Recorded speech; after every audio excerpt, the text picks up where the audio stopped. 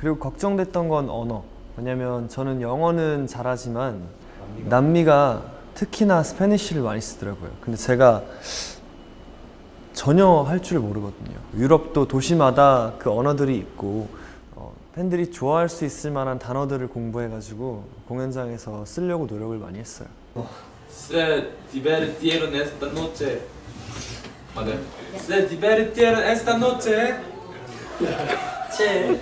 제. 어 재밌으시나요? 나 스페 스페인 한번 지어주세요. Hermosa. 홍, 홍석 엘린도. 아름답다는 뜻이. 네, 아름답다는 뜻이죠. Gracias por venir. Soy Lindo. Hola. Llama.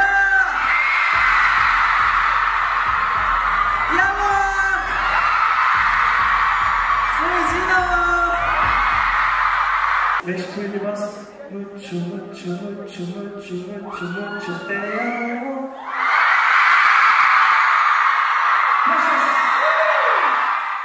그 해외에서 오신 한국어를 모르시는 분들이 한국어 한두 마디 해주시는 게 그렇게 감동적일 수가 없더라고요. 그래도 뭔가 부족한 발음이라도 한마디라고 더 하려고 해주는 게 관객 입장에서는 조금 더 하, 정말 정말 생각을 많이 하고 있구나라는 생각을 갖게 한다고 생각을 했거든요. 오늘은 프랑스어 연습을 하는데 그걸 한번 보여드리려고 합니다.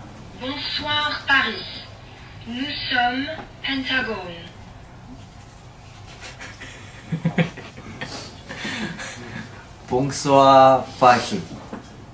누섬 펜타곤 이게 안녕하세요. 저희는 펜타곤입니다.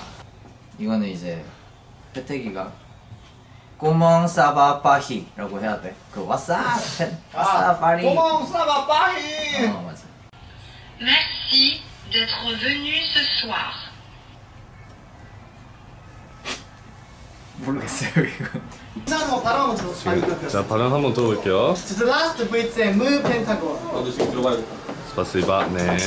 아무튼 last the Mu Pentagon. 야 쓸게.